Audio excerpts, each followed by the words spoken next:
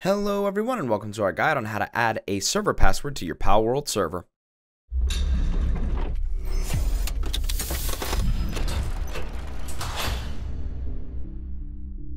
Palworld is already making big waves amongst the gaming community, and it's for good reason. It's a really fun game. Surely that means that you would want to play some games with your friends, but what you need to do is protect your server from any outside forces that may want to do some harm.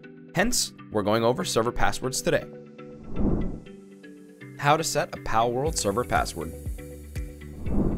The first thing that you want to do is, of course, open up your Nitrado panel, and you're going to stop the server with the red stop button, and on the pop-up that appears, double down to make sure that it officially stops. Once the server takes just a few moments, it will shut off, and you're going to head over to the left-hand side where you see the general settings. Go ahead and select that, and look up in the search bar, server password. One of the first things that should show up is the server password setting.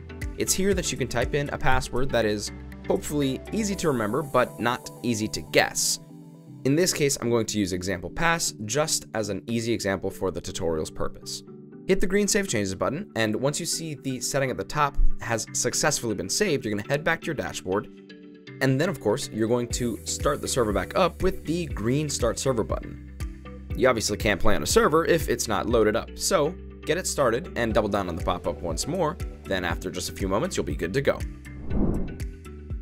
How to use a password. Most games have a similar way of joining, and Palworld is really no different once you figure out the main menu, of course. Head into the multiplayer game section and find the server in question that you were looking for. In this case, it's the server that I use for these tutorials, and I'm going to type in the password simply by clicking on it. Then, once you hit OK, and it's typed in correctly, you'll be able to connect no problem. Common issues. One of the biggest common issues that we are currently facing as far as these passwords go is that my Palworld server isn't letting me type a password.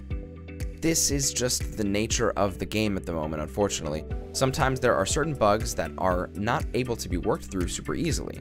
However, there is something you can do if you're having trouble you could just remove the password temporarily.